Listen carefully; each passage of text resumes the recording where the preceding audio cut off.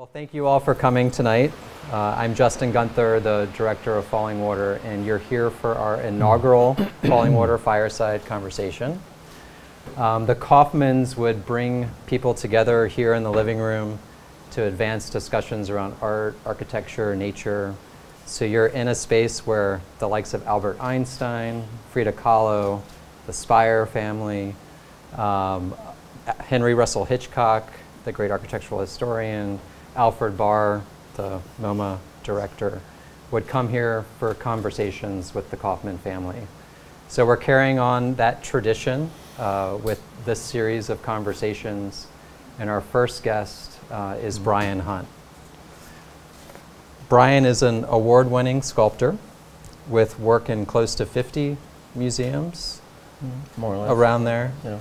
Uh, the Guggenheim, the Museum of Modern Art in New York, LACMA, Like, um, the Whitney, Metropolitan Museum, just a few all modest museums museums. Yeah, and beyond, abroad as well. Um, he was born in, I'm going to mispronounce your hometown, Terre Haute, Terre Haute, Indiana. Um, and then moved around to Florida and other places as a young man. Mm-hmm. Um, but then found his way to Los Angeles, where he went to the Otis um, Art Institute. Mhm. Um, and then you did a residency at the Whitney Museum of American Art, Whitney Independent, independent Study, study program. Um, and throughout his career, he's received many accolades and awards. I'm just going to name a few of them. A grand prize in 1991 for the International Arts Festival in Seoul, South Korea. A Design and Excellence Award in 2006 from the Mayor of New York City. Um, a Fine Arts Award in 2007 from the American Academy of Arts and Letters in New York. So you're, we're in good company tonight. And what brings him here um, is an encounter with Edgar Kaufmann Jr. Um, Edgar Kaufmann Jr. encountered uh, Bryan Hunt's work at the Guggenheim at a young artist exhibition in 1978. 78, yes. Um, and the Kaufmanns had lost a sculpture at the bridge due to a flood in the 1950s. Um, so Kaufmann knew the spot, he wanted a replacement, and he knew the artist that he wanted to replace the work. Um, and that brought Bryan Hunt to Fallingwater. So we're going to hear about that story, hear about your impressions of Edgar Kaufmann Jr. But first, let's hear a little bit about your, where you came from, why you're an artist, growing Whoa, up in Indiana as a child. ask that. but, but this gentleman worked at NASA, at the Kennedy Space Center. At Kennedy Space Center. so Apollo how do you program. how do you go from the Apollo program as a young man in, Uh, in your 20s to a career in fine yeah. art? I actually I was always thinking of myself as an artist. A- As a child, I think I found uh, my inner place. I was protected of my talent of drawing, and um, but I didn't know what an artist really was. I just felt like art and architecture was the place that I could exist and be, and I uh, kind of started out that way. Um, I guess in Indiana, what you're doing is you're, as a child, you're kind of looking at cornfields and almost nothingness. There was a Swiss dealer named Beyeler who wanted to do a show of, of uh, Indiana sculptors, which is John Chamberlain, Bruce Nauman, David Smith. It was just like this incredible group of sculptors, and it just kind of it makes you think of out of this kind of flat land Yeah. that these this kind of three-dimensional um, idea or in, involvement came about. But anyway, I like to build models. And, uh, yeah. But I had this. I was a Tomorrowland kind of kid Mhm. too. Mhm. I was always thinking futuristically or science fictionally, and uh, I had the opportunity to. I was studying at University of South Florida, and I didn't get drafted to go to Vietnam. I had a medical uh, thing. And uh, I was loose, I was freed. I didn't have to go to university at that moment. I just thought, you know, 90 miles away from Tampa, Florida, where I, where I grew up, is uh, Kennedy Space Center. And, you know, as a child, we'd go watch the rockets, you know, just a little beam of light going up into the sky. And so I, I drove there uh, and I got a job immediately uh, for Grumman Aircraft that was um, responsible for the lunar module. And uh, everybody was from Long Island. They're from Bethpage. I'd never met uh, New Yorkers or anything. There's all of a sudden there's a rooms. Were you full- confused by the accent? uh, yeah, exactly. Uh, but actually, you know, so friendly. And anyway, we just uh, kind of, I was like a gopher in Hollywood. They'd say, hey, kid, you know, go up to pad 37 and take a reading on this. And it was like the best job in the world. And at the same time, I was living in Cocoa Beach and I uh, was painting in the kitchen and you know entering little sidewalk art fairs so And surfing? And you surf? surfing Yeah. so it's just kind of like check check check um, and uh, it went on from there and then i decided it's time to go to art school that's what my um, dream is to be an artist and I went to uh, Los Angeles. I was accepted at Otis Art Institute in Los Angeles, and um, I went there for two years until I went to New York for the with the Whitney program, and it just it seems like everything just kept unfolding, and time was elastic. That it just seemed like, oh yeah, of course, I'm going, you know, I'm going to New York, and it's just all these it was pretty incredible. How did you find out about the Whitney program? I had an instructor named Miles Forrest, and he said, you know, and he was a New Yorker, and he was an artist, conceptual artist, and a jazz musician, and he, he just said, you know what? I think you should just go to. There's this program in New York. You're you're you're good for New York. You should just apply for this thing. I'll write a little thing, and it changed my life. One person just wrote that went out of their way to say that to me, and um, I followed through. And it was really one of the best things I ever did was to go to New York and to be in the Whitney program, and there were seminars with Richard Serra or Philip Glass, or I mean, it was just this kind of wellspring of information and excitement and openings and What was your work like at, in that program? What were you doing at that time? I was a little bit all over the place. I was kind of like a conceptual, but I wanted materials. I mean, right in that period, 72, it was anti-material, really. It was more um, conceptual art, so it was more photographs and more explanation of that, and then more performance. And um, so I was making these light things that are forgettable. You really. totally. Got to start Uh, somewhere. You got to start somewhere. Um, and that was, yeah, it was really about being around people, f- students from all over the country. Uh, Kathryn Bigelow was in my class. She was a good painter. And uh, she went on to become this wonderful director. And Julian Schnabel was there. I mean, it was just like this, uh, um, and everybody was, you know, late 20s, mid 20s. Um, so it was cafe society, kind Yeah, of. Go to yeah. Fanelli's. Um, So you earlier in your career, you you had an interest in architecture that you were expressing, right? You were Yeah. doing models of landmark buildings, and yeah. can you talk about what inspired you to do that? And did you ever want to be an architect? Did you ever? You know, I, to be quite honest, I didn't know artists could make a living. I thought that's a good thing, but I'm I would like to. I was entertaining the idea of what do I do with my life, and I thought an architect is kind of functioning in, in a way an artist does, um, but with, you know, building architecture. So I always thought of uh, Howard Roark and what's The Fountainhead? The Fountainhead. Read that. Like, boom.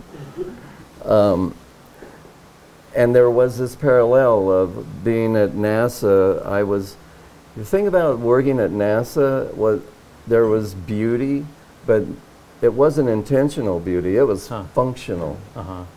and every the gantries or the the mechanics of these incredible spaceships were just like you're looking at something and you know that nobody's saying like well can't you like make it a little you know curve into it or make it a it was just all this kind of direct um, experience of what I guess the architect, the purity of architecture was in that engineering. The at functionality The functionality.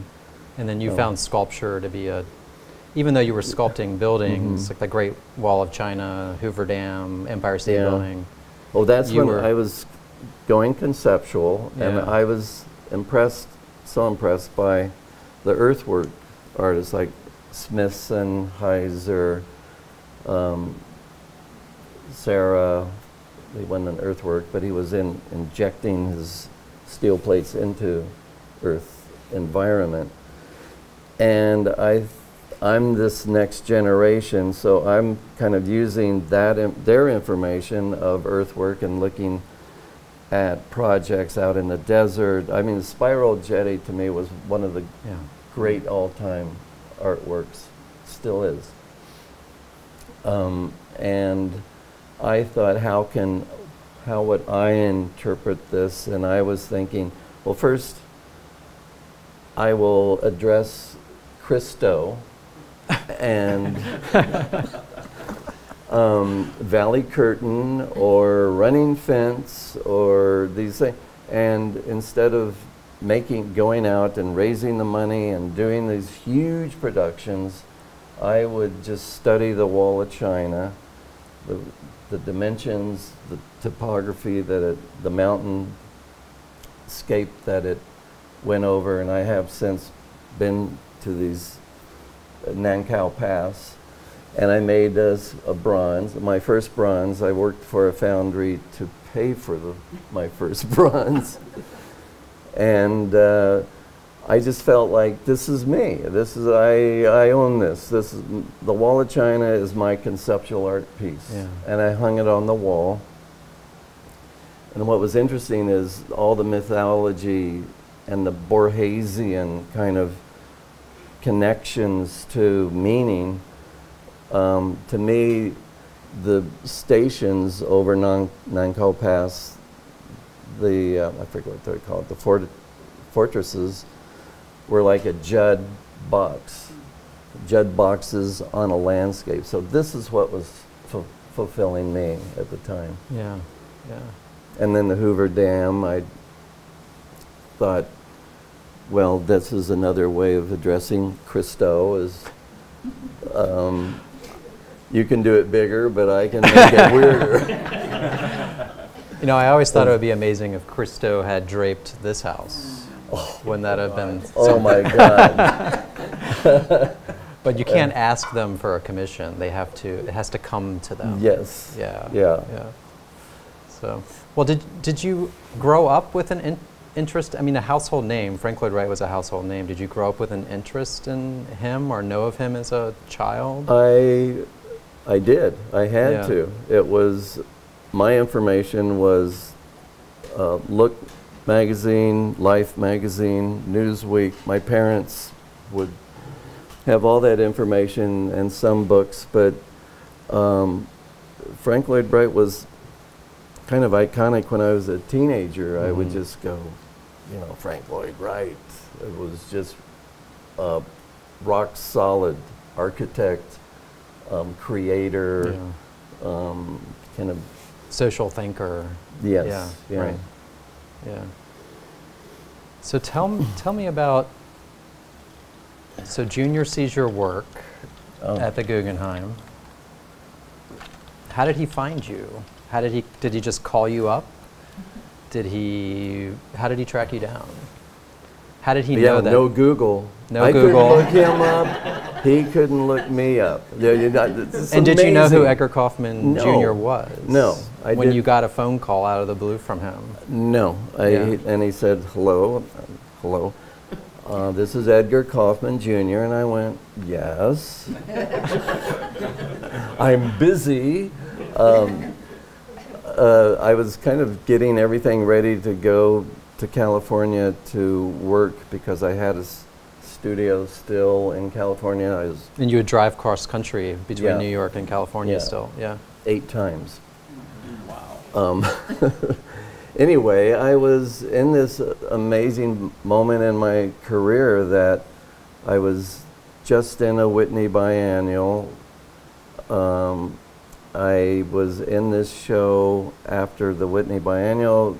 Uh, Guggenheim had a show. It's called uh, Young American Artist, and there were ten of us. Uh, Martin Puryear and Scott Burton, and I mean Wow. some really Yeah. accomplished people. And so Edgar saw my work. I, Martin Puryear and I got the high gallery at the Guggenheim. So I had, I guess, how I would, how would I get to the waterfalls? From the dam to the lakes. I went from the dam to the lakes. I was like wanting to take a lake out of its earth mold, like Brancusi took, made a cup Yeah. out of wood and used it as an object, and it was just like this flat. And you know what you're doing is you're just translating information that you're picking up, and how do I, how would I see that as myself as a Brancusi cup? And I was thinking, a lake is like that cup, so I made a series of lakes for a couple of years in quarries. And then um, I was thinking, well, that the lakes are like these sleeping forms, reclining figures in a way. And what is next would be a standing figure. Yeah. And then came my waterfalls. Waterfalls just gave me license to interpret anything. Um, So did you start thinking they would be abstracted figures, or were you taking the water and the other way around, I was turning them into turning them into yeah, what? figure figural representations? It wasn't as much. It was almost like Ansel Adams in Yosemite, just going to a waterfall and just getting that exact angle Yeah. that's so lively and uh, singular. So I'm basically the waterfall to me was the figure in the landscape, um, not a figurative figure, but nature.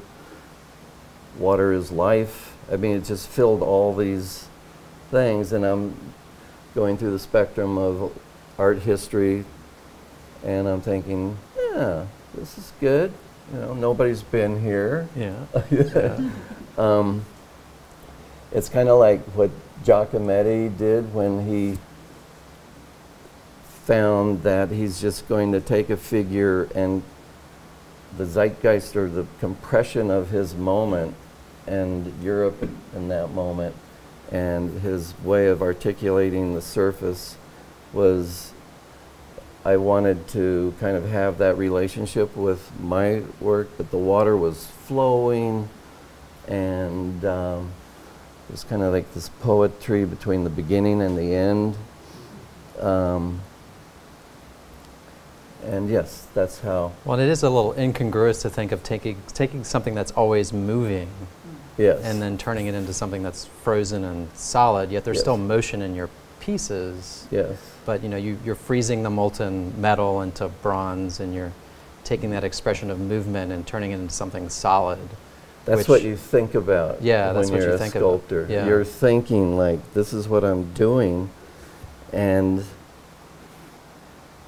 how do I do it, and what? How am I going to address this? How can I make this um, step up to a, a level that kind of balances out as, oh, I'm encountering a sculpture that is this almost like a brushstroke of nature and uh, communicating, you know, you take what you see with you, I guess. Did, did Junior have a, Edgar Kaufmann Jr. have a comment on what he liked about these waterfall sculptures? Well, so he uh, calls me and he said, I Edgar Kaufmann, I'd like to come to your studio if you have some time. And I said, well, I have a couple days before I leave. You know, like, had I known, I would have said, jeez. um, and he said, good. And then he said, are you on a walk up? And I was in a little carriage house on Great Jones Street. And it's a third floor this old carriage house that I renovated. Had to do all the work myself, but funky. Um, Well, he would have appreciated that, I'm sure. I think Yeah, he did. yeah, I think yeah. he did. He kind of Yeah. walked in with a big smile on his face. Yeah. And um, and I'm going like, wow, you're you're a little old, and you're just. You have so no idea who this guy so, is, I yeah. mean, he was just his presence was this aesthete kind, and he's just high, and he goes over to my drawing table, and he he says, "Well, I have this project that I, when I saw your work at the Guggenheim, I think that you might be interested." And I'm going like, "Okay." and so he has this man- manila envelope. I've told this story to over and over. Probably kind of gets more mythological. sometimes I fall on the floor. Sometimes I, you know. Um, he has this envelope and he says, "Well, here's here's what I'm I'm thinking. At first, I'd like to show you the house," and he just pulls out this photo of Fallingwater, and I'm going. and I just pointed, "You, this." And he says, "Yes, you, you." it was hysterical. I'm going, I, "What?" And he says, "Yes, I would like for you to go to Fallingwater. I have a site that uh, might work for you. I'd like for you to spend a little time." And I was just uh, beside myself um, that this was something that I could not imagine. I mean, that being in tho- those shows at different museums is one thing, but to have this um, opportunity. Did he come with you, or did he just ask, tell you to come to Fallingwater and He spend a few days? Yeah, it, Yeah. because I didn't have much time, I w- came here immediately, drove here, and then drove back to the city. And then we talked, and he invited me um, uptown to Park Avenue. Um, and I, I got to know him a little bit better by his the interior of his place, and wow, it was, you know, it's the kind of thing where, and I was saying earlier, you go into these great collections, um, and you just want to memorize everything that you see. Um, and it was like Paul Klee, and there was a, a Wright table, and there were, we were talking about uh, scholars' rocks, Chinese scholars' rocks, and um, and a Monet, and De a, Kooning, and a de Kooning. Picasso. and this Rodin, Rodin. the uh, the craziest, most amazing Rodin we will ever see. Which used to be Um, here at Fallingwater at the yeah, guest house I, pool. I did not know Yeah, that at the yeah, pool. Uh-huh. Um, and I was just the elegance and the austerity of the moment um, was so, so, and he was so open to me. I was kind of like rambunctious in a way, um, but yeah, very, very, very memorable. So, what were your impressions that first time you came to the house and saw the? The- Because the location was predetermined. That was your one constraint. right? Yes. And then you had free reign of the house and the landscape. Yes, I got spend time here when it was closed, and I mean, it was just incredible. I came here a few times, came in the autumn. Um, I knew that what I ended up doing, I wanted something kind of quiet in a way, singular in a way, not a, a waterfall that's a bit figurative, but it's elevational too. Mhm. Like the top of the waterfall, my Bear Run piece is kind of equated to the horizontals of the house. Hmm. And uh, nothing loud. I just wanted it to not occupy or interrupt this moment when everybody just walks up to this glorious uh, architecture. It's a far cry from the Marino Marini sculpture that was there. it it, it sat on the wall oh, there. it did? I yeah. it sat where the, uh, yeah. the other one was. No, yeah, it sat there and yeah. So, but Yeah, a far a far, far cry, cry. from I mean, from much that quieter sculpture. than that, right? way way quieter. Yes. It's phallic. Yes, much less phallic. Well, I guess you could Well, interpret I that. I don't know. Um, so you had free reign of the house. Fallingwater can be a daunting backdrop for an artist. It- Mhm. you know, you had other great works of sculpture on the Mhm. grounds as well. Jacques Lipchitz just down at the pool. Peter Mhm. Voulkos up at the other Yeah, pool. yeah. Richmond Barthé, Mardonio Magaña scattered throughout the landscape here too. yes. Were they informing you in any way on what you were going to do? Were you intimidated at all by the Mm. architecture? I just felt no. I, I felt inspired. Yeah. I just felt like this is a moment to thrive and and um, I made lots of. Dra- I actually recently went back and found the sketchbook that the notes I was keeping from this experience, and the, I was taking hundreds of SX70s at the time. So I have.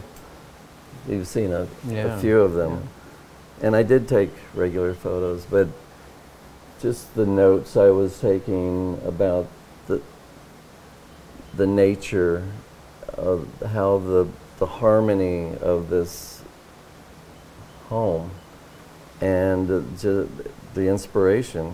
Um, you know, I'm always interested in process too about how something like this comes into being. Can you speak about how you created that work a little bit? Talk to us about that. What's your process for actually creating the Creating it? sculpture? Yeah.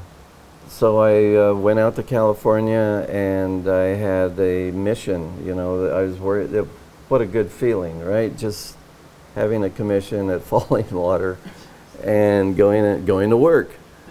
And so I was doing little tests and making armatures, and I made two uh, two pieces that were Bear Run One and Bear Run Two. Bear Run Two is at the Lehmbruck Museum in Germany, Duisburg, Germany, and there's another one in uh, North Carolina, Okay. the Triangle, something Triangle. Um, and it was, I was just complete. I had my books on Fallingwater and Wright, and it was just like this immersion. But basically, it was really all about me and my sculpture, um, and to to give it everything that I could give it. You know, the the mark making is I would pour I would pour plaster in a sling and with my hands just kind of make this flow and then go back and tilt it up with my assistant and then go at it with an adze which is like a curved kind of chisel tool like a hatchet and to me it was my Cezanne brush strokes. Huh. It was like every every mark was uh, reflecting light, and how to make an edge that would reflect the light of this abstract concept of water falling and figuratively and in, in nature. So, what? Talk a little bit more too about how nature's inspired your your work. I know you, Yeah. you live on in Long Island now, where you're you're on a on a pond and only a mile from the ocean. Mm-hmm. Um, you've surfed. You've been coastal, both in I, I, New York and Los Angeles and in Florida. I, I how have you, guess yeah, I- how have you brought that into your work? It's more. Um, I wanted to work with nature, and nature would be the way I would address sculpture or Yeah. painting or drawing. And but my work deals with also gravity. I made these airship pieces that are super lightweight, and they're kind of floating above the viewer. And that has always kind of sustained a, that imagination that I like to give to the work. I want to kind of exchange, um, in a way, the Yeah. form and the thoughts. And so, nature, water, I've done big pieces. Uh, where I'm just working in clay and like de Kooning, the de Kooning clam diggers are miracles. They are, I never realized if you've ever seen these sculptures that what you're looking at is the reflection of a figure, a, a clam digger in that thin veil of water. You're, you're looking at the reflection, and that's why they're Uh-huh. all over the place, and that's why he has that latitude to uh, make those marks, and they just seem so wow. Um, I didn't get it until somebody was en- enlightened me that, about the clam digger. Yeah, just kind of squint and turn your head upside down. but um, I don't know where did I go with that. Um, Bringing nature into your work. Oh, okay. Yeah. Nature. Yeah. So well, I mean, yes, you're, and you're on Long Island, where there's a great history. Well, de Kooning, yes, Jackson de Pollock. Kooning, Pollock was down the road, and Yeah. all of them. I mean, that was one. Coming from California, I thought, what is this Long Island? I don't know. I mean, they don't have beaches like we. Are.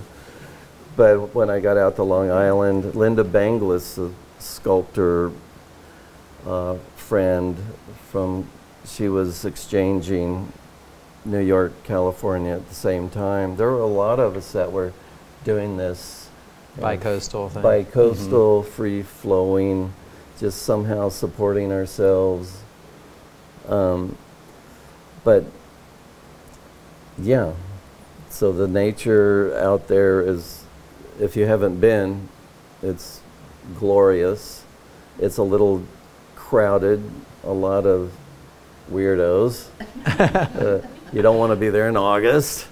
Um, but it's really miraculous. So we were talking about there's now that they've cleaned up the water and in the, the Hudson and the bunker are streams, rivers of bunker. There are now humpback whales just right offshore doing these breaches and we're uh, at the beach just going um, it's a celebration. So basically, I decided to go the way of nature and not do um, a social Sure. or a message of Sure. some other level. I wanted to be. So with these airships, so that you know, a bronze waterfall is very rooted and grounded, and Mhm. you're doing these airships that are floating and cantilevered from one Mhm. point on the wall, are floating off the floor, just tethered to the floor. Yes. Are you are you trying to balance something with your art by doing floating form and grounded? Probably. Form, yeah. I might be afraid of it all. of who are these two people that are making these? Well, you're a. Gemini. I I'm a Gemini. Yeah. He's a Gemini. I'm a Gemini. Also. yeah. Uh, we have to create balance in our lives. And I go back and forth. Well, first of all, working with NASA, it was all about orbital. It was all about um, the view from above. Mhm. And that's how the, the lake idea, and um, actually, you can, even in, in history, you can see where the camera was invented, and then the, the balloon, and then all of a sudden there's a aerial view in the 18 something or maybe, maybe yeah 18 something. So that view from above was always so provocative that that's you know I kind of came from a gravity-free astronauts floating in space, and how can I celebrate that in a way? Yeah. When you you do extraterrestrial sculptures and things too, don't you? Like moonscape Moonscapes. sculptures and I'd like to invite everybody here to my studio. but I, yes, I thought another progression. Yeah, if you're doing this, I've been doing it 50 years now. Mhm. It's like, at this point, it's how do I fulfill um, the here and now, but how do I uh, expand out and kind of bring my past and work with me as the information that I would take the next step. Yeah. Somehow that sounds confusing, but um, it was interesting when I was working at NASA, talking with engineers. Everybody thought we were going to have space stations in 2000. They thought there'd be Hilton hotels and, and wait, you won't believe what there's in. It was like this kind of optimism yeah. uh, of humanity, of like the next step. And it was, uh, I thought that the airships kind of just have that presence of lighter than be, the incredible lightness of being, right? Yeah. Um, I'm now doing some, taking the dirigible. I was realizing that the I've given a spine to the dirigible, so no longer is the dirigible a rigid structure and a kind of a linear configuration. It has a spine, and then I was thinking, well, it's going to come. All of a sudden, I could do all these other forms just by doing this one thing of giving it the, the spine. Um, they call it fusiform. Fusiforms can be either worms, pasta, fish. it's an incredible word. Um, And maybe those whales that you and see the, at Long Island. So now the Yeah. whales are, are just structurally they're like a dirigible, but they've got the spine, and they they are these kind of to work with the idea of abstracting that to where you're. I'm not conveying. I'm not. It's not about mimicry. I'm not conveying like this is a whale or this is a porpoise. I just want that form to kind of come at you another way. Um, Yeah. When your work's taken you internationally as well, and you found your way to Hydra at one point Been to Hydra. and visited with Edgar Kaufmann Jr. there. yes. And what, I- was, what was the occasion for getting you to Hydra? Was there another? well, I was pretty good friends with Brice Marden and Helen Marden, and they invited me to Hydra. Wonderful people. One my f- favorite artist, almost Brice. Um, he really hits it up there. yeah.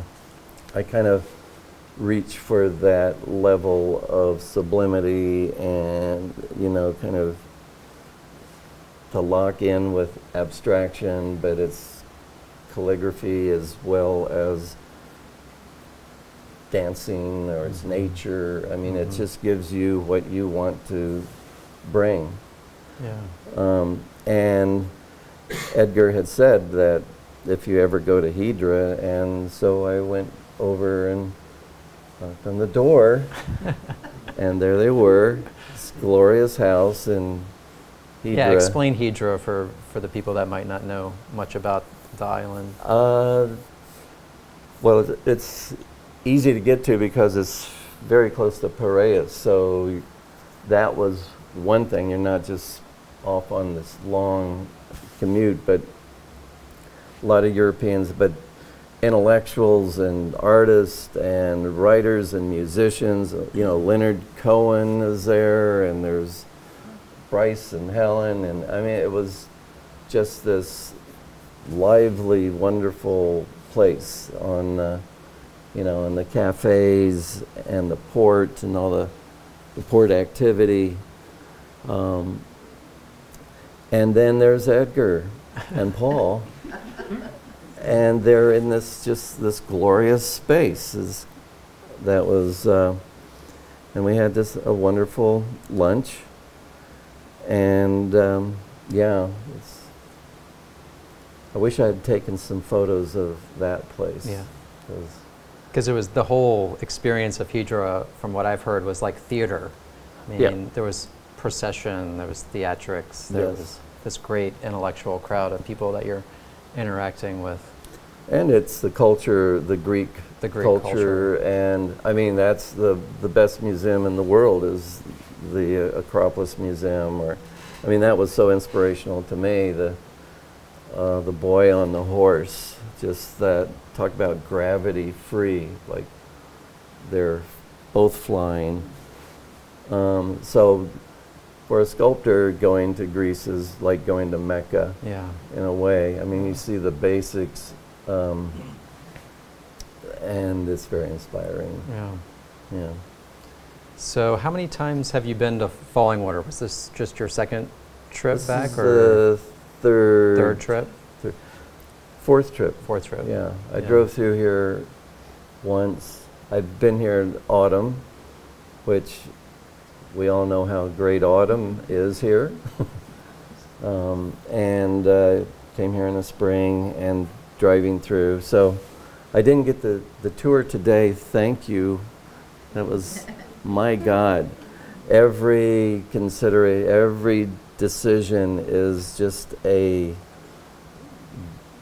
not only gutsy but poetic, you know, way to experience the space and um, And you were telling me earlier that you stole the Yes. idea from the fireplace. I well, I think F- Frank stole it- stole it from you. No, he didn't.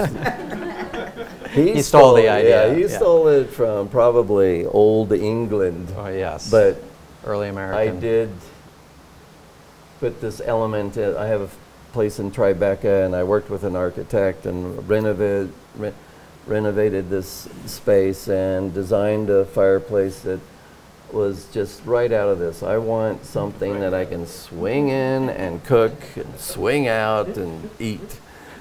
And uh, yes, it was. Uh, so that So after being back, favorite thing about Fallingwater? Wow, that's showing Lucy. Aw. and that this is your first time. And having that conversation. It's just like every you're it's just the information, it's not like um, hard edge or you know, it's not academic. It, it's just like this these solutions are a celebration of idea. They're like wonderment, how you would do all of this. Um, it's pretty darn good. I mean, this place is spectacular. Really least, is. least favorite thing about Fallingwater? Least favorite thing. There's got to be something you don't like about it. Um. Uh, the rhododendrons are covering my view of the Sculpture. sculpture. That hemlock tree's Well, grown a little bit too hemlock tree got big in 30 years. Good answer. Good answer. Nothing much. Um, who is your biggest? Do you have a m- main person that's inspired you throughout your career, or a handful of people that have really directed where you've gone with your work? I kind of just like to scan, scan Matisse sculptures, scan Giacometti. Um, in literature, it was interesting because Borges would do an overview and mythologicalize things, and I thought that would be an interesting way to conceptualize of my work Yeah. is to have a an otherness about what it is you're looking at, um, and um, Giacometti, Brancusi is kind of obvious, hmm but I will go back to him any day. Yeah. Um, some of my friends, Susan Rothenberg was a really good friend and a great painter, but Eric Fischl and David Salle, we all hang out together and have wonderful dinners and Yeah. Beach time and Do you still surf? no. no. Um, for aspiring sculptors and fine artists, do you have any advice? Um, to just to go out and experience everything, every curiosity, and kind of pack it in as um, strength. And it takes takes a lot of strength Yeah. to do what we do because it's uh, it gets lonely. Hmm. In what way? Well, you, I mean, you know, you're hard on yourself. Mhm, You, I mhm. mean, you're you're a tough critic, Mhm. and uh, sometimes you just have to. I mean, when I look at this, I, you know that Wright was kind of wondering, is this too much? Is Did I he ever question himself? Let's get. I'm sure he did. Yeah. Yeah. yeah, even the way Yeah. that window opens into the desk, and you just Yeah. go, "All right, that's a s- what a solution." What a solution. Yeah. He was, yeah, he's kind of like monumental, but that's why some of these architect, architects and artists are who they are. They go to that They level. persevere. Yeah. Yeah. Well, I'd like to open up questions from the audience to engage. Absolutely, Alex. I mean, I've been coming here since I was eight years old. And I've been here for dinners, I've been here for parties, but I've never been here for something like this. And I really want to thank Justin Oh, well, thanks. Alex. because it's, I mean, I have a picture of my grandfather talking with Edgar to Einstein. And so. Wow. But, but I was too young at those days. Mm-hmm. And I just really appreciate this, and I appreciate you, this is completely your idea. Oh, well, thanks, Alex. He is great, I must say. And This- and your questions were excellent. Oh, well, thanks, Alex. yes. Uh, that- Sorry, I just. No, I, I thank you. Well, and, you know, spending time here as a child, I mean, this place has shaped, shaped who you are There's no question about it. Absolutely. And my family also. and your family too. And clearly shaped your career and your Mhm. trajectory. Mm-hmm. Um, You never said so- what Edgar said when you showed him the sculpture for the first time. Ah, yeah, great question. Well done. What else would he say? Uh, well done. Yeah. Thank you. No, but I mean, I mean, he had a choice too. He had Yeah. the number one or the number two. The number two was more of a, a. The fall is coming from a canyon, so it's a concavity, and then it comes to a, a certain point, and then gathers and then drops. And this one was was more. He liked that it's just. It's almost like two sources coming to this point on the edge of a crevasse or whatever, or here. If you see what's so amazing about this place is that you can see water, that elastic moment between hmm. moving horizontal and falling. There's this little, and I'm sure Einstein was just kind of wondering what that elasticity is. Um, That's fascinating. Yeah.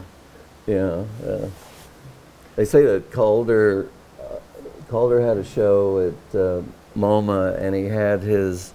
There's this thing called the time and something equation. It was like this crazy sculpture that measured time, and Calder was like an part engineer, part. I mean, he was. He's one of my tops too because he had some joy in his things.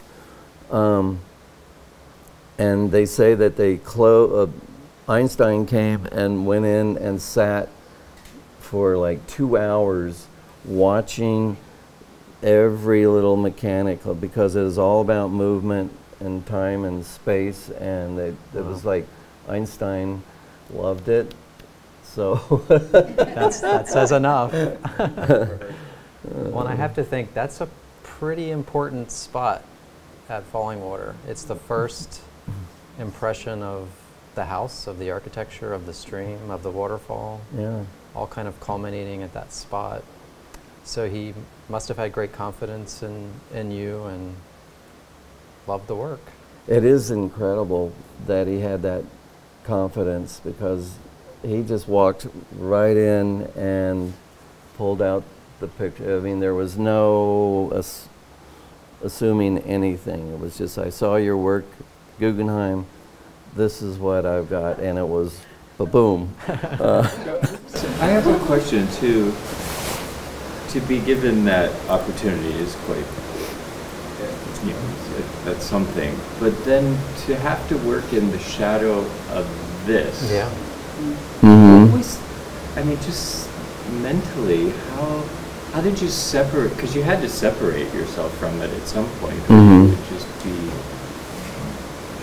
It would just start overpowering your own work. So, Mhm. what was that power? Of, like, how did that moment of separation happen for you? Being a little naive. Um, How old were you at that time when you got this commission? And this was your first private commission, right? the First, first commission. Yeah, your first commission. Yeah, I've had some pretty good commissions, but this is the first and best. yeah. Um, it was, you know, to me, the, the Fallingwater stands completely high on the tower of greatness. And I was thinking more of, like I was saying, it, it's quiet. I, I want, I wanted my work to be quiet because it, you can have a meditation the way you can isolate things here or details here that I didn't really feel like I was competing. Thank God. Yeah. I mean, there was no reason to kind of take on Frank Lloyd Wright when you see, you know, this place. Not But- like Christo either, uh, right? And it's yeah, right. I'll take on Christo. Um, yeah, it was wasn't as daunting as you would think. I was just in the flow. It's- Sam has it. So I wanted to ask a couple of things. What year was it actually made? And then if you talk about how it was made, and you said you had models, but were they actually used? Did you use the one model to cast from, and how was it cast? Um, And lastly, like, what were you thinking about in terms of scale? Because it's such a pivotal spot on a bridge, mhm. and then obviously with the house. So what were you thinking? I'm sorry to ask you that many questions. Well, the scale is, I, actually my studio out in California in Venice had 26 foot ceilings, so I wasn't really, you know, Worried too much about- worried there. But I didn't want it to be something that's just kind of overstated, mm-hmm. then that's saying too much of itself. It's, I want it to be, like I was saying, like quiet and meditative, and you happen upon, instead of it coming out and grabbing you like uh, two plates of steel, two big plates of steel.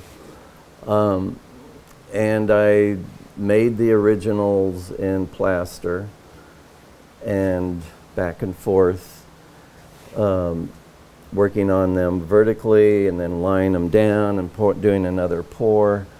And I was working on both of them, and then I cast them in a foundry in California.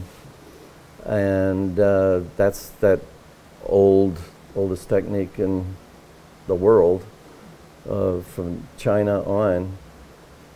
Um, that's why I like that first bronze I made was the Wall of China. So that kind of, all these things kind of connect. Mhm. Like that works, this works. What year was that? S- The Wall of China was 75. The, this piece was, I think I made it in 78. It was am- amazing how, not only that was happening, I was in, um, oh, the Venice Biennale.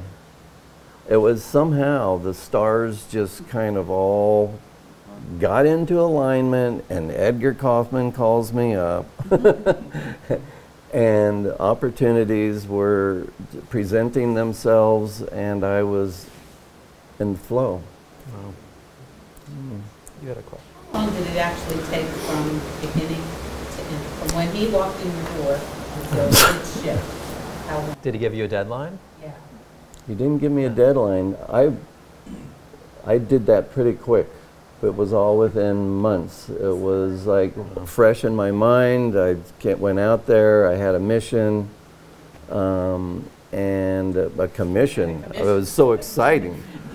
Um, and so the whole thing was within a, a year of making it, coming out, doing the measurements, doing the drawings for a footing, installing the, the piece. Edgar was here for that. And we had a, a good time and uh, a uh, little bit of a celebration.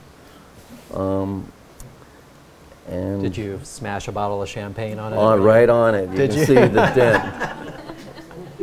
How, how is it rooted into the ground? Is it, Well, it's a deep it- footing. okay. And yeah, we don't want what happened to the right, to the Marini. marine? Yeah. Um, and it's a male female Okay. kind of thing. You can uh, see in the well, the old Whitney or in the Guggenheim, they're going like, oh, no, "You're not going to drill in the floor, are you?" And I'm going like, "I will repair your floor, I promise." Any other questions? Yeah, Ashley. Um, hearing about how your your work has evolved throughout your career is so interesting, and I was wondering if you were to get the same commission now, at this point That's in a good career, question. what would it look like? Oh my Or God. Do you think it would look Yeah. the same? That's a good question. Uh, I'm running with it. Um, I, well, I think I would bring my experience, my 45 or 50 years experience into a more, I don't know, I, I think I would just give it more in the mark making Mm. um, maybe have I, I really don't know how I would do it. I don't think I would kind of go out. I would want it to stay because it, after all, is what I wanted was this meditation and quietness more than, hey, look, I'm a sculpture. Um, and sometimes that's some of the best sculpture you'll encounter is Hmm. you know, like a Rousseau or, or even, say, Giacometti or something. Um, yeah, I would probably bring more guts into it, more angst, and more my kind of. Uh, Well, I love what you just said because when you round the corner, you have that aha moment that you're seeing this amazing place. But then once you get to the bridge, that idea of a meditative state, you kind of just release, Mhm. start to relax, and then let the house and the experience Mhm. take over. That's nice. And I love that you, that subtlety, the meditativeness of your work Mhm. sets the perfect tone for the start of the experience here. Thank So, you. Yeah. Mm. Fascinating story. Any, any other questions? No? When we go to the studio next week, we get to go back to the city for the one pot dinner?